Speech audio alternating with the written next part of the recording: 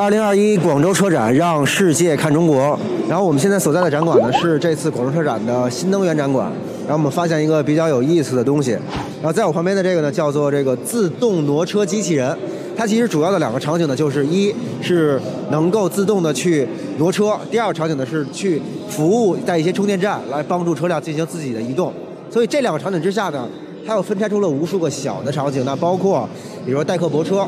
代客停车、立体停车场这种自动化的这种运输跟搬运，那么在充电领域呢，它其实有了两个大的场景。第一个场景呢，就是类似于当车辆在充电站已经充满电了，那它可以把车辆从电桩这个位置移到停车场，然后节约在充电站的这种有效的利用率，来提升效率。那么第二呢，其实提到的是一个叫做 V to G 的概念。其实这个概念已经在汽车行业有很多年的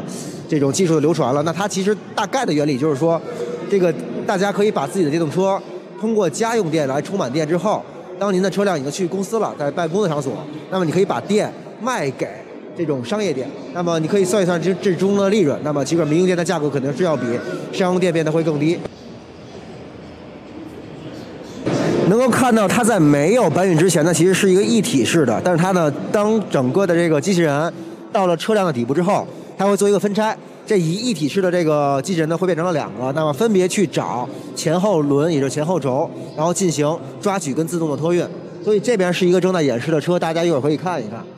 所以其实大家可以看看，就是这种所谓的自动运输机器人有没有一些实用价值。其实它主要的目的呢，其实就是帮助停车场跟充电站进行一个整个站内的这种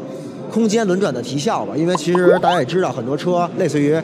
长期占用电桩啊，或者说长期占用一些无效的停车位。那么这种自动运行机器人其实就能够帮助一些，尤其是立体停车场实现这种更高效的这种管理跟运营。